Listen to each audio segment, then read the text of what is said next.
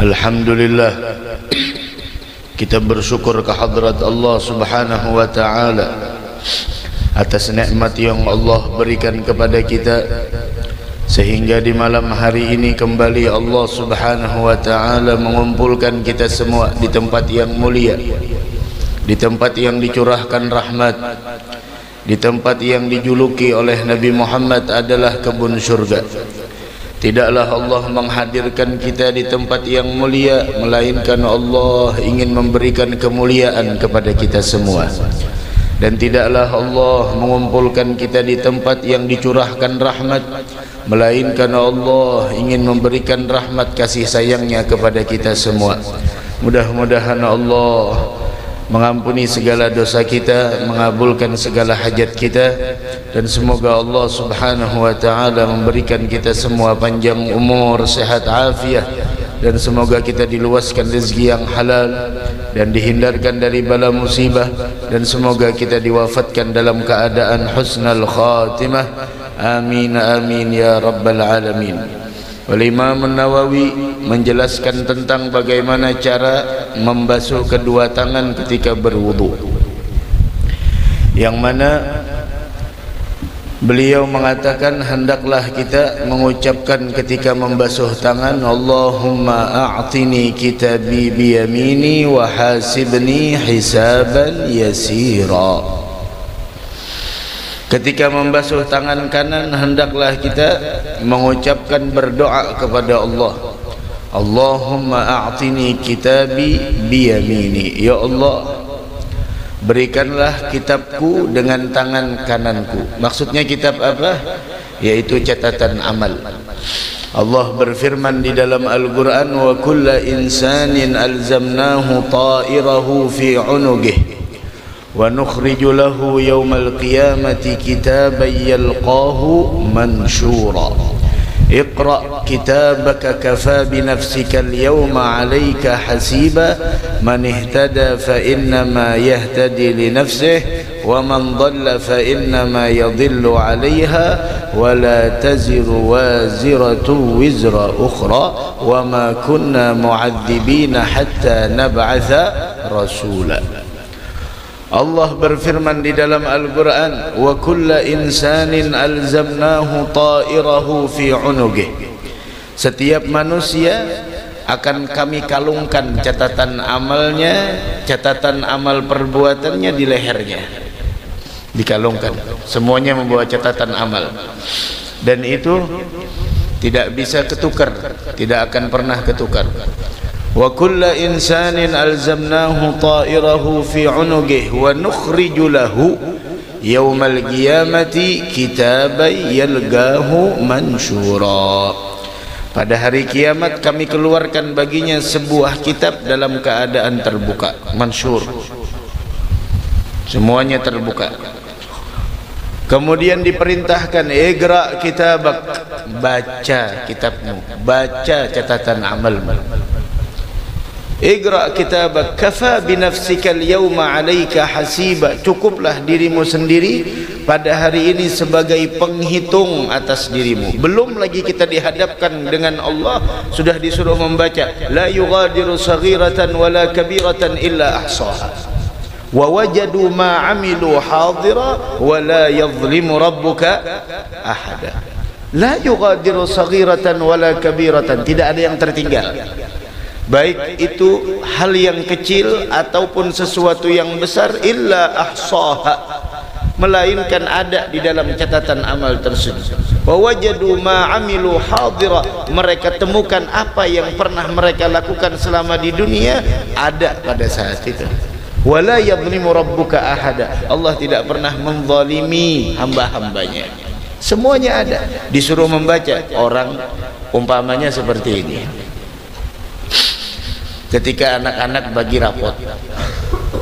Orang tuanya tidak tahu ketika sekolah anaknya membolos ketika sekolah anaknya tidak faham dengan pelajaran yang dijelaskan oleh gurunya.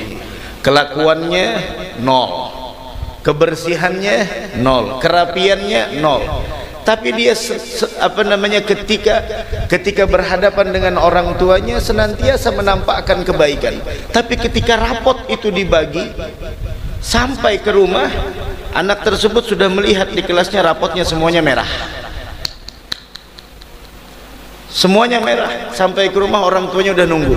Bilang orang tuanya coba buka rapotnya bacakan. Berapa nilainya? Berapa nilai agamanya berapa kerajinannya? Berapa kerapiannya? Bagaimana perilakunya? Baca.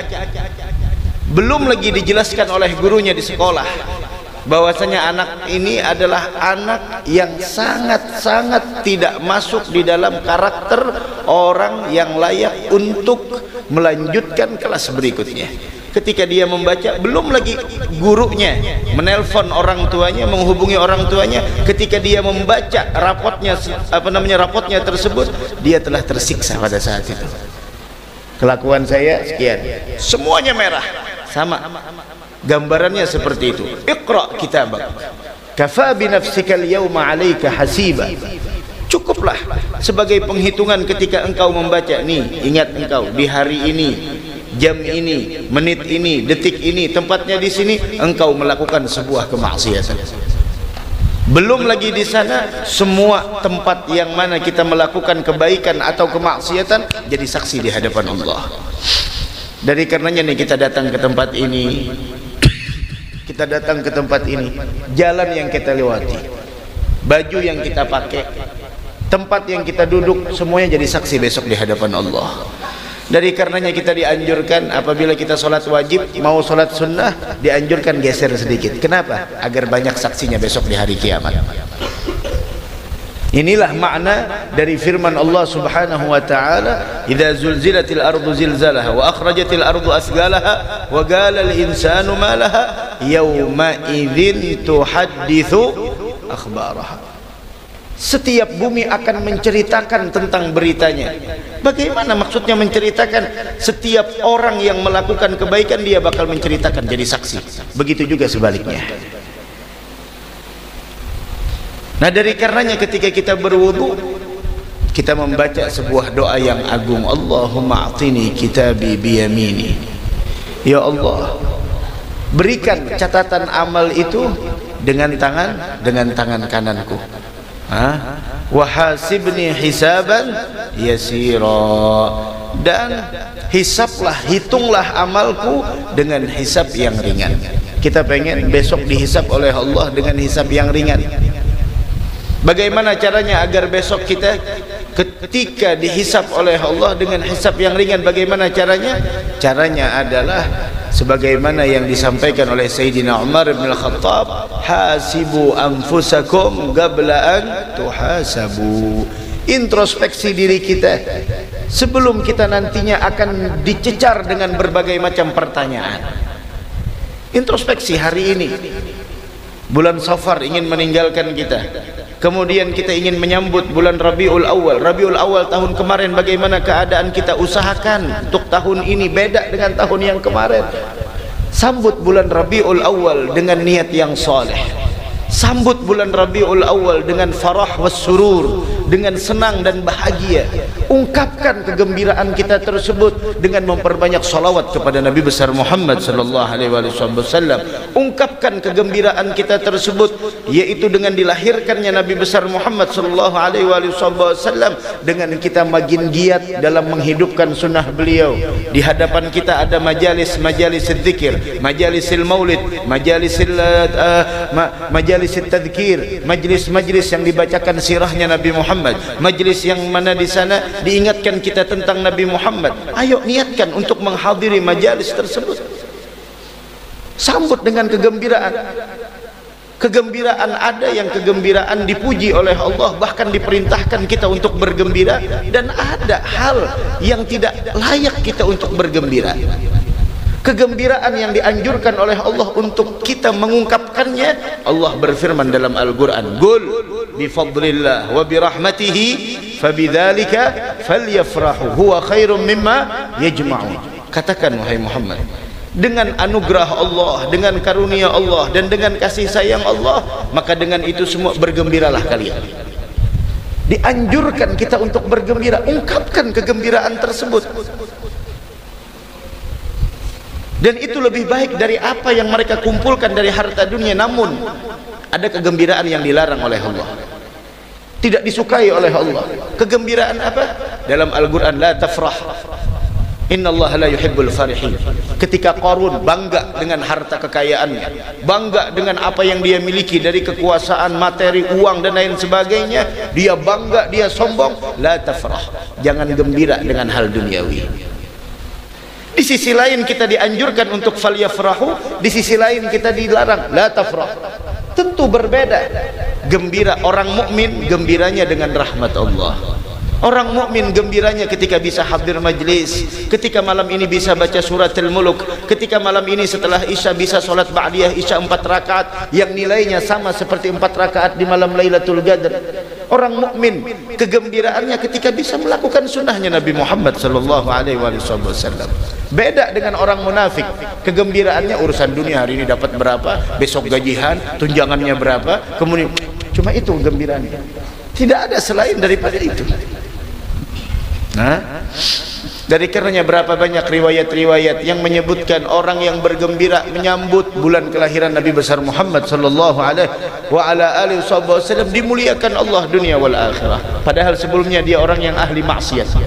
Tapi ketika menjelang masuknya bulan Rabiul Awal, bulan Rabiul Anwar, bulan kelahiran Al-Mukhtar, Nabi kita Muhammad sallallahu alaihi wasallam dia beli pakaian yang baru, dia beli apa wewangian. Dia hiasi rumahnya dengan berbagai macam wewangian hiasan karena kegembiraan mengungkapkan mengungkapkan kegembiraannya terhadap Nabi Muhammad. Ternyata ketika meninggal dunia dia dimuliakan oleh Allah Subhanahu wa taala. Lihat Abu Lahab kufri fa kaifa bi farhatin min dhi fuadin imtala iman. Abu Lahab satu kali bergembira di dalam hidupnya atas kegembiraan atas kelahiran Nabi Muhammad diringankan azabnya annal azaba mukhaffafun fi kulli ithnaini bi farhatihi liman wafana. Li farhatihi biman wafana. Bahwasanya azab diringankan setiap hari Senin karena gembira atas kelahiran Nabi besar Muhammad. Hadza ma'al kufri. Ini balasan Allah bagi orang yang bergembira atas kelahiran Nabi Muhammad dengan orang kafir. Bagaimana kegembiraan dari sosok orang yang hatinya penuh dengan keimanan kepada Allah dan Rasulnya? Ungkapkan kegembiraan kita jadwal-jadwal maulid di mana aja di majlis, di musalla, di masjid kemudian di rumah-rumah ayo hadiri dengan ta'zim hadiri dengan penuh kerinduan Besok akan kita lihat bagaimana nantinya ketika melihat nama Nabi Muhammad terpampang di atas pintu surga. La ilaha illallah Muhammadun Rasulullah. Ya Rabb mudah-mudahan kita dimasukkan ke dalam surganya Allah. Amin ya Rabbal Alamin. Dari karenanya wahasibni hisaban yasira. Kemudian ketika membasuh tangan kiri Allah min a'udzubika an tu'tiyani kitabi bishimali aw min wara'i dhahri. Wahai Allah aku berlindung kepada engkau agar jangan engkau berikan kitabku dengan tangan kiri atau belakang punggungku. Karena di sana tidak bisa nantinya kita memilih tergantung amal kita. Dan tadi sebelumnya bahwasanya kita dianjurkan menyelat-nyelati tangan kanan dengan meletakkan telapak tangan kiri di punggung telapak tangan kanan. Seperti ini. Nyelat-nyelatinya. Tidak seperti ini. Karena seperti ini makruh. Bahkan duduk waktu majelis duduk waktu Jumat jangan sampai seperti ini. Ini penyebab rahmat tidak turun. Jangan duduk seperti ini. Oh, hatta ketika nonton TV jangan seperti ini. Hatta ketika santai jangan seperti ini. Makanya ini seperti ini tangan kanan. Diselati seperti ini. Diletakkan di punggung. Ini punggung kan? Nah, tangan kiri. Kemudian punya tangan kiri seperti ini. Jadi seperti ini. Jangan seperti ini. Apalagi hari Jumat. Makanya kita lihat biasanya guru mulia Al Habib Umar kalau hari Jumat dengar khutbah tidak mau tangan beliau seperti ini. Kalau tidak seperti ini atau seperti ini. Tidak seperti ini. Ini makruh begitu nah begini nah. begitu itu nantinya ketika diberikan catatan amal itu yang kita pikirkan Allah berfirman dalam Al-Quran فَأَمَّا مَنْ أُوتِيَ كِتَابَهُ بِيَمِينِهِ فَسَوْفَ يُحَاسَبُ حِسَابًا يَسِيرًا وَيَنْقَلِبُ إِلَى أَهْلِهِ مَسْرُورًا orang yang diberikan catatan amal dengan tangan kanannya fasaufa yuhasabu hisaban yasira maka dia akan maka dia akan mendapatkan hisab yang dimudahkan oleh Allah Subhanahu wa taala. Diperiksa dengan pemeriksaan yang mudah. Akan tetapi yang dimaksud dengan hisaban yasira maksudnya adalah apa namanya bukan bukan dipermudah. Karena orang nantinya apabila dipersulit di dalam hisabnya sebagaimana Rasul mengatakan manugishal hisab udzib. Orang kalau sudah dicecar dengan pertanyaan ketika memeriksa catatan amalnya itu bakal diadab. Hati-hati. Nah terus apa maksud hisaban yasira? Hisaban yasira ini bukan dipermudah. Ayo cepat baca-baca. Lah bukan seperti itu. Tapi cuma arad arti arad itu cuma diperlihatkan. Umpama di televisi itu udah selesai. Beda dengan dibaca di televisi. Baca satu apa? Jam sekian. Iya ah, pecah puasa di WC dan sebagainya. Tuh baca. Eh cepat ya bukan maksud hisaban yasira kata ulama tafsir al-arad arti al-arad yaitu hanya sekedar diperlihatkan tidak disuruh untuk. Kenapa? Karena Rasul mengatakan menugishal hisab udzib. Orang kalau sudah dicecar dengan pertanyaan di dalam hisabnya dia bakal disiksa oleh Allah Bahkan Rasul di dalam hadis yang lain, "Laisa ahadun yuhasab yaumal qiyamah illa mu'adzaba." Tidaklah orang nantinya besok kalau sudah dihisap oleh Allah di hari kiamat melainkan dia itu bakal disiksa oleh Allah. فسوف يحاسب حسابا يسيرا وينقلب إلى أهله مسرورا ini yang kita harapkan ini yang kita harapkan. Setelah dia dihisap oleh Allah Subhanahu wa taala wa yang galibu ila ahlihi masrura akan kembali kepada keluarganya sama-sama yang beriman dalam keadaan gembira.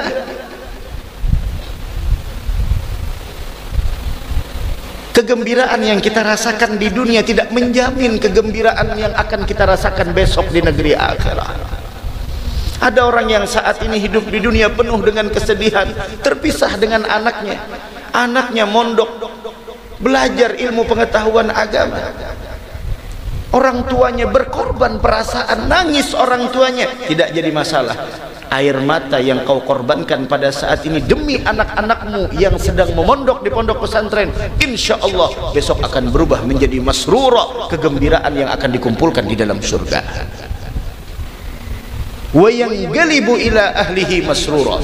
Dia akan dikembalikan kepada keluarganya dalam keadaan masrur dalam keadaan gembira. Dari karenanya prioritaskan kegembiraan akhirat daripada kegembiraan dunia yang sifatnya sementara. Kita lagi kumpul sama keluarga ayo. Minta sama Allah ya Rob jangan kau pisahkan kami nantinya besok di dalam surga begitu وينقلب إلى أهله مسرورا. وأما من أوتي كتابه وراء ظهره فسوف يدعو ثبورا. ويصلى سعيرا إنه كان في أهله مسرورا coba lihat beda masrurnya orang yang diberikan catatan amal dengan wara al-dhahri dengan dengan apa namanya sebelah belakangnya di belakangnya dari belakang fasaufa yad'u thubura. Dia akan memanggil pada saat itu dengan panggilan kebinasaan. Fasaufa yad'u thubura. Dia akan berteriak. Dia akan berteriak dengan sekuat-kuatnya dengan teriakan celakalah aku. Fasawfa yad'u thubura wa yasla sa'ira. Dan dia akan masuk ke dalam neraka sa'ir yang menyala-nyala. Kenapa? Kenapa itu semua bisa terjadi? Innahu kana fi ahlihi masrura dahulu ketika hidup di dunia selalu bergembira di kalangan keluarganya Maksudnya bagaimana? Innahu kana fi ahlihi masrura. Maksudnya adalah farihan la yufakkir fil awagib. Kegembiraan yang tidak pernah dia memikirkan bagaimana besok di negeri akhirah kelalaian, gembira dalam keadaan lalai. Hah? Gembira dengan apa namanya?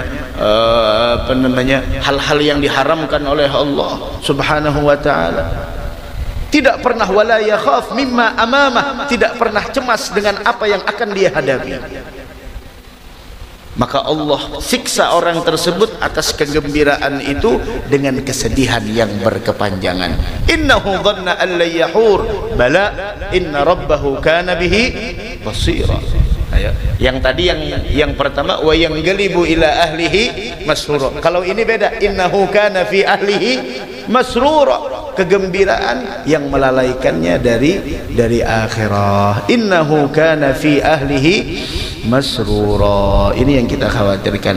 Ha Al-Imam Al-Baghawi mentafsirkan innahu kana fi ahlihi masrura yakni fi dunya. Dahulunya dia gembira senang-senang poya-poya sama keluarganya bittibai hawa dengan memperturutkan keinginan hawanya.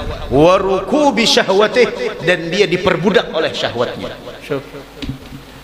Kegembiraan yang mengakibatkan tulal huzun kesedihan yang ber, ber, berkepanjangan. Ini yang kita pikirkan berpisah dengan anak. Tidak jadi masalah. Berpisah demi kebersamaan besok di negeri akhirat. Ya Rab mudah-mudahan selamat seberatan. Kemudian usaplah kepala mengusapnya seperti ini. Digabungkan seperti ini. Yang sempurna ya kalau minimal ya sini, karena sudah berjambul okay. atau di sini yang penting di bagian kepala yang sempurnanya?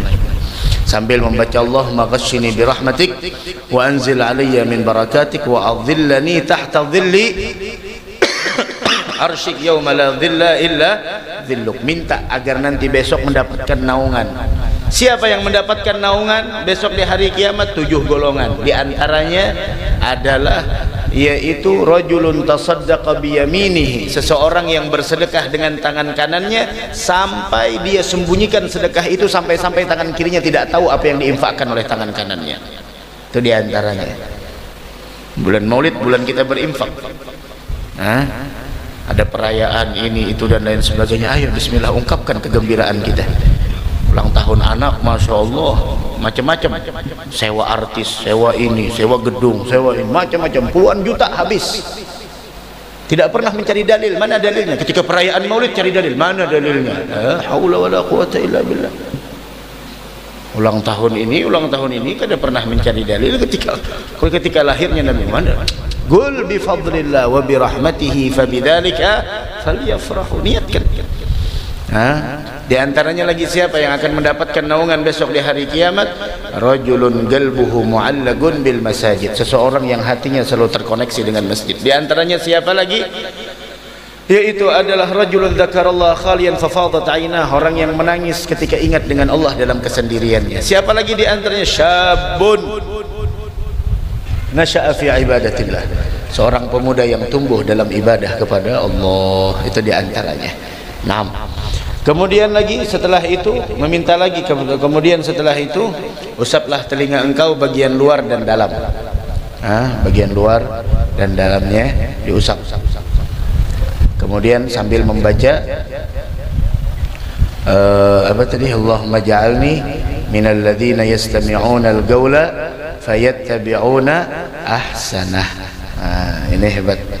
Ah, اللهم اجعلنا من الذين يستمعون القول فيتبعون أحسنه. الله سبحانه وتعالى berfirman di dalam Al-Qur'an dalam surah Az-Zumar. فبشر عباد الله mengatakan Fabashshir ibad. Berikan kabar gembira kepada hamba-hambaku. Siapa wahai Allah? Alladzina yastami'una al-qawla Fayattabi'una ahsana.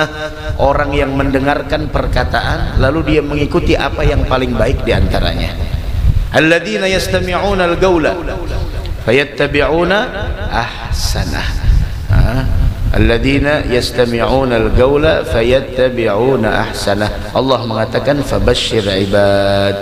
Yastami'una al-qawla ay mendengarkan al-qawla perkataan apa maksudnya? Ay al-Qur'an. Wa yattabi'una ahsana dan dia mengikuti ahsana ma yu'marun.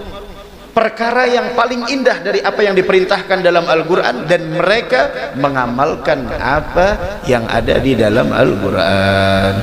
Begitu apa aja yang dalam Al-Quran? Fabashir ibad alladhina yastami'una al-qawla fayattabi'una ahsanah ulaika alladhina hadahumullah wa ulaika hum ulul albab. Mereka lah orang-orang yang mendapatkan hidayah dari Allah subhanahu wa ta'ala.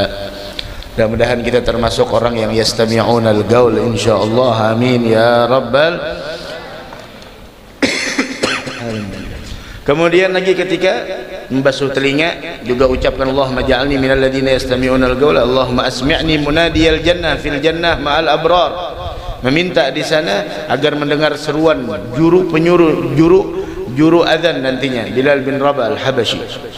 Di surga bersama orang-orang yang berbakti. Gitu.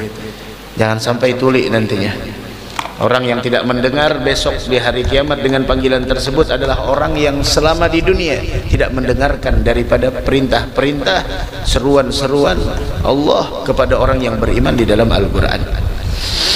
Kemudian lagi tengkuk nih leher-leher belakang. Tapi ini sunnah aja lah. Telinga pun sunnah ini. Ini. Ah, bahkan Imam Nawawi mengatakan bid'ah. Tidak disunnahkan, dinugil dari syarah Ar-Rawd tapi kada jadi masalah. Ulama ada yang mengatakan dianjurkan. Ha? begitu. Sambil mengatakan berdoa Allah mafukka ragabati minan nar. Wa a'udzubika minas salasili wal aghlal. Ya Allah lepaskan aku dari api neraka. Leherku lepaskan dari api neraka dan aku berlindung kepada engkau dari ikatan rantai dan belenggu. Karena itu nantinya adalah uh, kalung dan gelang penghuni neraka rantai di belenggu orang tersebut La ilaha illallah. Kemudian lagi membasuh kaki Allahumma tsabbit qadami ala siratil mustaqim ma aqdami ibadikas salihin. Karena nantinya besok di hari kiamat itu sangat menakutkan. Tidak ada yang yang bisa menolong satu sama lain. Semuanya ketika ingin melintasi sirat yang mana sirat tersebut lebih halus daripada rambut, lebih tajam daripada pedang semuanya akan melintasi sirat. Dan keadaan orang melintasi sirat tergantung amalnya. Dan pada saat itu yauma yafirrul mar'u min akhihi wa ummihi wa abihi wa sahibatihi wa banihi likulli imri'in minhum yauma idzin sya'nun yughni pada saat itulah masing-masing. Dan tidak ada yang keluar dari mulut setiap manusia ketika melintasi sirat melainkan ya rabbi sallim sallim. Ya Allah selamatkan aku selamatkan aku. Ayah tidak mencari sang anak Suami tidak mencari istri, istri tidak akan pernah mengejar suaminya. Semuanya hanya memikirkan keselamatan dirinya. Kenapa? Karena di di bawah sirat terdapat neraka jahanam. Siapa yang terjatuh, dia akan masuk ke dalam neraka jahanam. Dan keadaan orang ada yang lebih cepat dari kilat menyambar, ada yang seperti angin, ada yang macam-macam tergantung amalnya. Tidak ada yang bisa menolong pada saat itu kecuali Nabi kita Muhammad sallallahu alaihi wasallam. Beliaulah yang mengatakan, "Ya Rabbi ummati ummati." Wahai Tuhan, selamatkan umatku umatku. Beliau pada saat itu yang mencari kita. Mudah-mudahan wajah kita dikenali oleh Nabi Muhammad dan kita bisa melintasi sirat insyaallah. Amin ya rabbal alamin. Bismillah baca. Bismillahirrahmanirrahim. Ketika membasuh kaki hendaklah dengan menggosokkan gosoknya. menggosoknya dan bersungguh dalam membasuh tumit terutama di musim dingin. Tumit itu hati-hati tumit. Ah jangan sampai kebanyakan orang tuh tumit kada diperhatikan Hmm. Ayo. Dalam Al-Azkar disebutkan oleh An-Nawawi ketika membasuh kedua kaki bacalah Allahumma sabbit qadami ala sirati. Artinya ya Allah teguhkanlah telapak kakiku di atas jalan yang lurus. Kemudian siramlah air hingga mencapai tengah kaki dan ulangi tiga kali dalam semua perbuatan engkau. Adapun doa-doa ketika membasuh anggota tubuh, An-Nawawi mengatakan tidak ada sesuatu keterangan dari Nabi Muhammad SAW mengenai hal itu. Akan tetapi semua itu adalah doa-doa yang diriwayatkan dari para as-salafus saleh ada yang menambah dan ada pula yang menguranginya Ibnu Hajar berkata hal itu diriwayatkan dari jalan-jalan yang tidak kosong dan dusta. Dari. Dari dusta. Akan tetapi al-mahil al-mahalli dan aramlil kabir dan as-saghir menyukainya karena hal itu disebutkan dalam tarikh Ibnu Hab, Ibnu Hibban dan yang lainnya meskipun dhaif. Karena hadis dhaif dapat diamalkan mengenai amal-amalan utama di fadhailil a'mal syarat mengamalkan hadis dhaif adalah apabila tidak sangat lemah dan masuk di bawah asal umum serta termasuk dalam ibadah. Nah, ini maksudnya Imam Nawawi mengatakan semua ini adalah keterangan uh, tidak ada keterangan dari Nabi. Akan tetapi ini adalah dari para salafus saleh. Para ulama-ulama dari karenanya ada yang menambah, ada yang mengurang. Nah, Imam Ibn Hajar mengatakan ini jalan yang uh, tidak kosong dari dusta. Namun Al-Imam Al-Mahalli dan Al-Ramli Al-Kabir was-Saghir menyukainya karena hal itu disebutkan dalam tarikh Ibnu Hibban. Meskipun daif hadis daif bukan berarti kita buang kemana. Tidak kita amalkan hadis hadis daif lah boleh mengamalkan li fadailil amal untuk keistimewaan beramal dengan syarat tidak terlalu la yastadda uh, apa namanya tidak terlalu bersengatan lemah apalagi sampai ada yang menguatkan dari hadis yang lain. Maka apa namanya boleh kita mengamalkan apalagi untuk fadailul amal. Bukan berarti hadis dhaif udah tinggal di lemari jangan lagi diamalkan lah bukan seperti itu. Akan tetapi hadis dhaif bisa diamalkan li fadailil amal. Apalagi tidak bersengatan lemah dan masuk di bawah asal umum serta termasuk dalam dalam ibadah. Ada jadi masalah. Ayo terus. Apabila telah selesai berwudu, arahkan pandangan engkau ke langit dan menghadaplah ke kiblat dengan dada engkau. Karena langit adalah kiblat doa. Tuh, dengarkan, langit kiblat doa, bukan Allah bersemayam di langit. Kiblat doanya kita ya ke langit. Kenapa harus ke ini? Berarti Allah lah. Kiblat doa adalah lah langit. Kiblatnya doa. Ayo. Dan kebutuhan-kebutuhan manusia berada dalam pember perbendaharaan di bawah aras ulurkan kedua tangan engkau dan bermohonlah akan semua hajat engkau. Karena Ka'bah adalah arah yang paling mulia.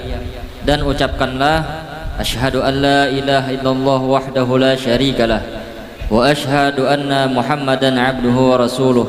Subhanakallahumma bihamdika asyhadu an la ilaha illa anta amiltu su'an wa zalamtu nafsi astaghfiruka wa atubu ilaika faghfir li wa tub alayya innaka antat tawwabur rahim Allahumma ij'alni minat tawwabin waj'alni minal mutatahhirin ibadika salihin waj'alni saburan syakuran waj'alni azkuruka dzikran katsiran wa usabbihuka bukrata wa asila Artinya aku bersaksi bahwa tidak ada Tuhan selain Allah Subhanahu wa taala. Tidak ada sekutu baginya dan aku bersaksi bahwa Nabi Muhammad adalah hamba dan rasulnya.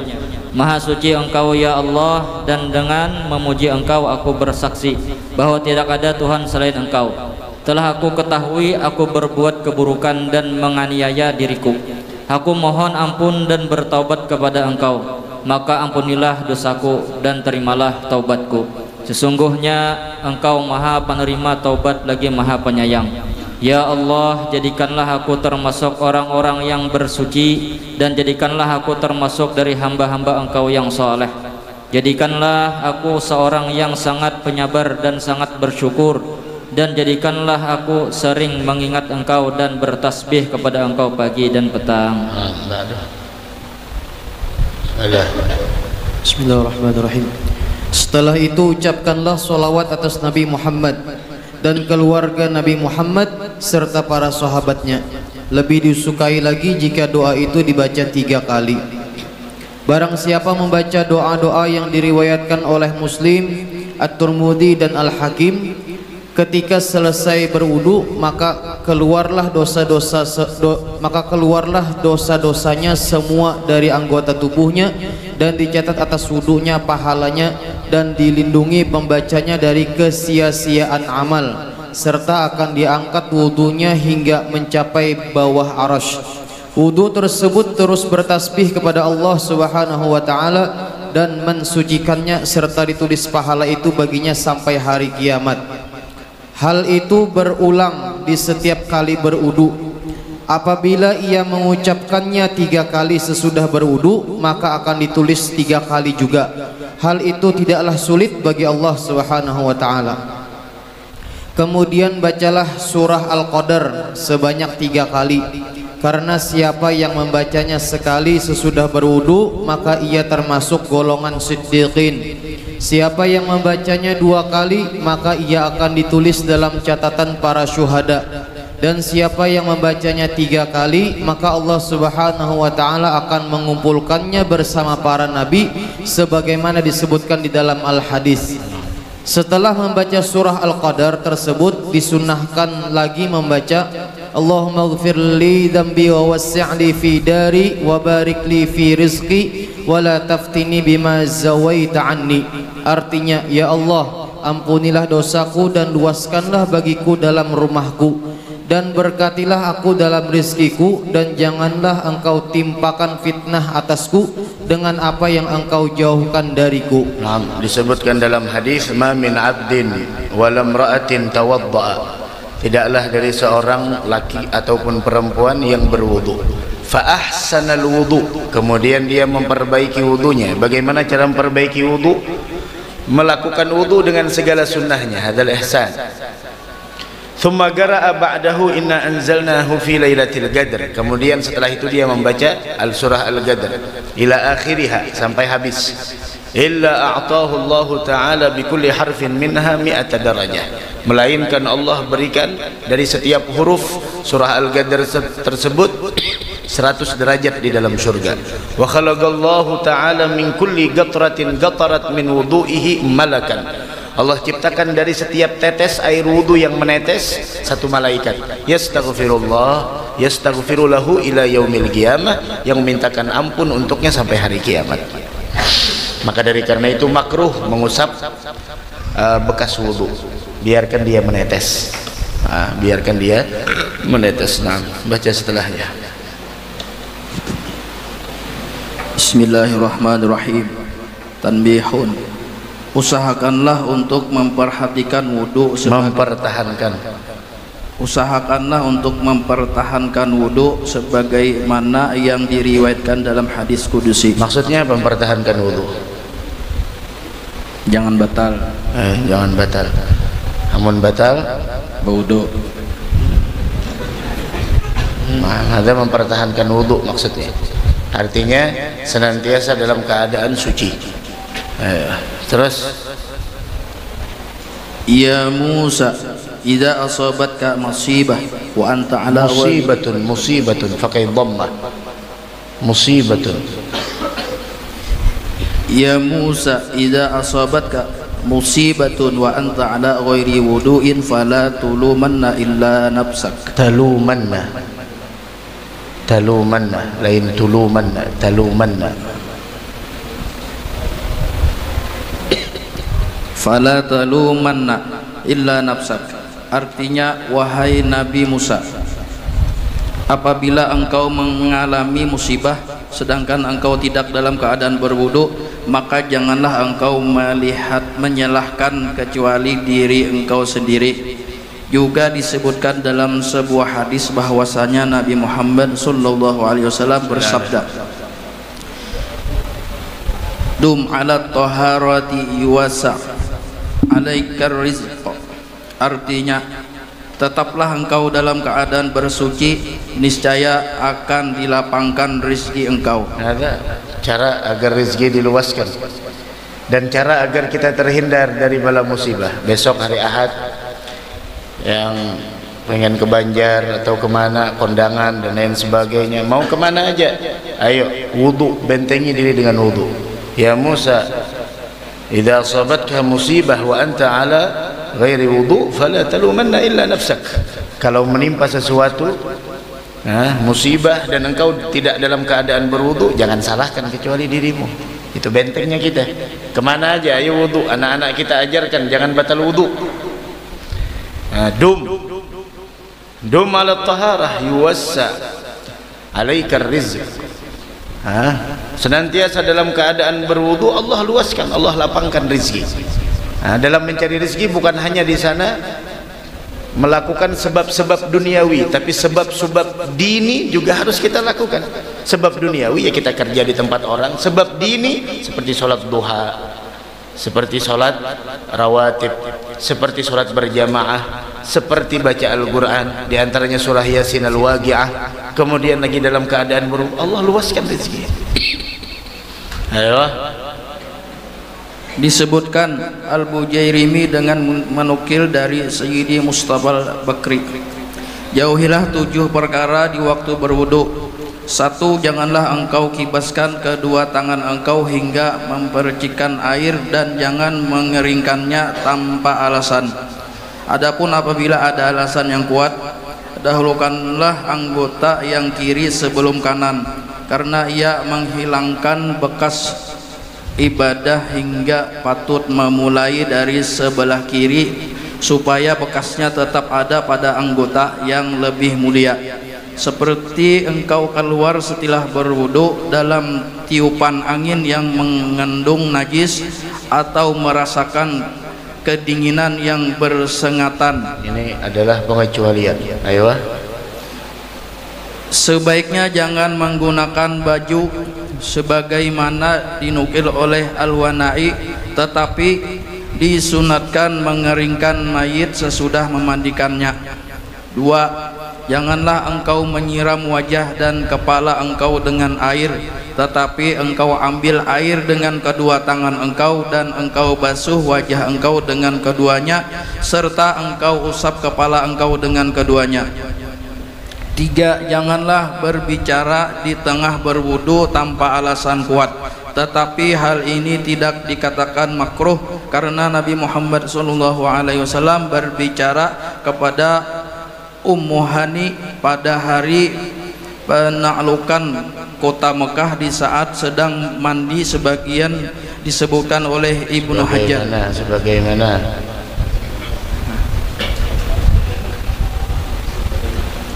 sebagaimana disebutkan oleh Ibnu Hajar empat janganlah melebihi tiga kali tiga kali ketika membasuh dan mengusap dan jangan pula menguranginya karena hal itu makruh kecuali dengan alasan yang kuat.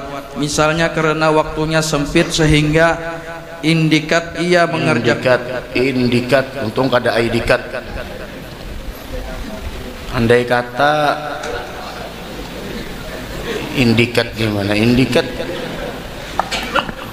Misalnya karena waktunya sempit sehingga indikat ya apa indikat? Hamzahnya jadi atas indikat. Ya oleng sudah kebanyakan yang dibaca olengnya lagi indikat. Tunggu ada indikat. Misalnya karena waktunya sempit sehingga andai kata ia mengerjakan tiga kali niscaya waktunya habis. Saat itu diharamkan mengerjakan tiga kali atau airnya sedikit sehingga tidak cukup bagi engkau kecuali untuk sholat fardu maka hal itu diharamkan atas engkau mengerjakan tiga kali. Namanya tiga kali pacangan keluar waktunya sekali-sekali ya atau bajunya dikit? Orang banyak buduan banyak anak habis variannya acara gonol di mana?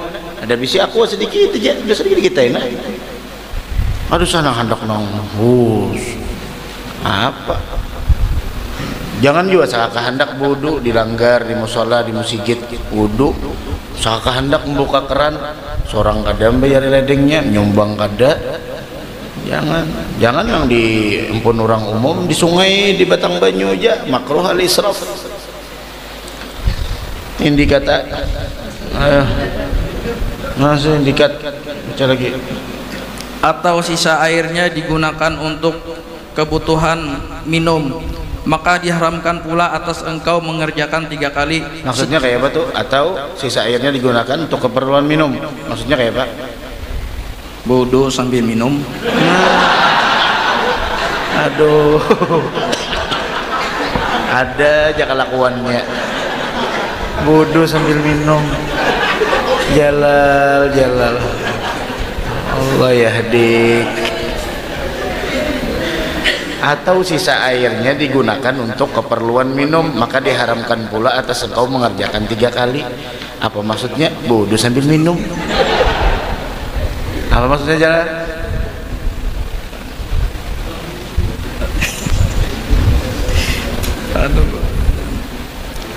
Membuat ke botol bayinya Jalal Jalal Allah hai maksudnya Jalal. Ini banyu sebotol. Secangkirnya aku bisa banyu nah amun aku habisakan beuduk awai tiga kali tiga kali membasuh. Cuma limbah ini kan ada lagi. Banyu gesan minum. Amun aku kada minum bisa mati. Maka basuh sekali sekali aja sih saya gesan minum. Lain beudu sambil minum jalal jalal.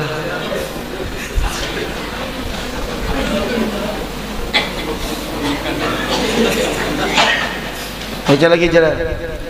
Maka diharamkan pula atas engkau mengerjakan tiga kali sedangkan mendapati sholat berjamaah lebih utama daripada berwudu dengan dengan membasuh tiga kali. Kayak apa tuh maksudnya nah. Bingung pulang tadi sambil minum. Ini pulang apa pulang kisahnya? Sedangkan mendapati sholat berjamaah lebih utama daripada berwudu dengan membasuh tiga kali. Maksudnya? Sekali aja gini.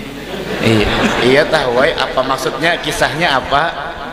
Kisahnya apa? Kisahnya apa sekali-sekali aja. Iya tahu wai, sekali-sekali aja kisahnya napa maka tadi kisah minum kenapa jadi berjamaah pulang. Supaya jamaahnya kada tinggal.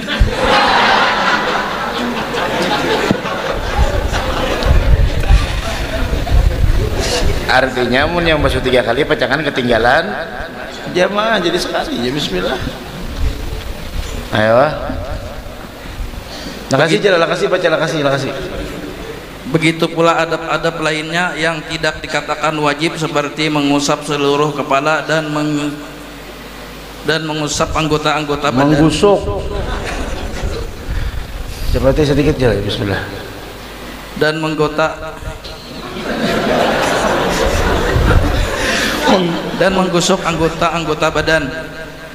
Kalau tidak maka tentulah ia didahulukan sebelum jamaah. Lima. Janganlah menuangkan banyak air sehingga melebihi kadar yang cukup bagi anggota meskipun tidak melebihi tiga kali tanpa hajat sekalipun di sungai hal itu Di makruh sungai aja makruh. Di sungai padahal banyu itu belik-belik juga kalau apalagi nang banyu musigit, banyu majelis, banyu musola saka hendak inyek, bus membuka. Apa? Apalagi membawa seteng rumah. Membawa di botol pulang. Ah, baca lagi. hal itu makruh apabila hanya disebabkan was-was sedang air itu miliknya atau mu- mubah apabila air yang wakaf maka haramlah melampaui batas dan orang yang sering was-was maka syaitan tertawa senang dan syaitan itu yang bernama walhan Walhan. Anda bisa kawan dengan Walhan lah. Walhan. ya akhir mudah-mudahan ada manfaatnya insyaallah dan ada barokahnya mudahan kita beratahan panjang umur sehat walafiat insyaallah jangan was-was dalam berwudu akhir mungkin ada diumumkan oleh panitia sedikit. Bismillah.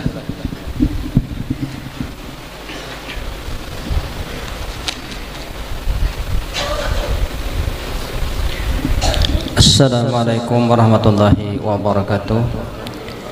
Kami sampaikan kepada jemaah majlis rahimakumullah bahwa di majlis kita ini akan melaksanakan peringatan maulid Nabi besar Muhammad SAW yang insya Allah akan kita laksanakan pada hari Sabtu pada tanggal 14 September 2024 itu adalah malam 10 ke 11 Rabiul Awal 1444 Hijriah.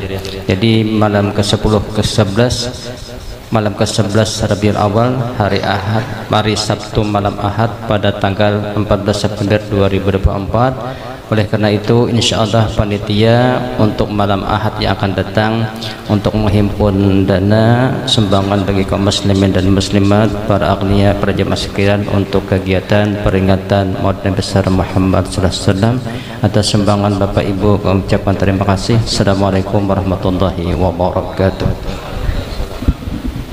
Tanggal 14 September insyaallah Sabtu malam Ahad. Sama-sama kita. Al-Farah bin Nabi. Ungkapkan kegembiraan kita uh, dengan masing-masing cara mengungkapkan kegembiraan. Jangan suka menyalahkan orang lain. Ya akhir insyaallah. Catat tanggalnya 14 September insyaallah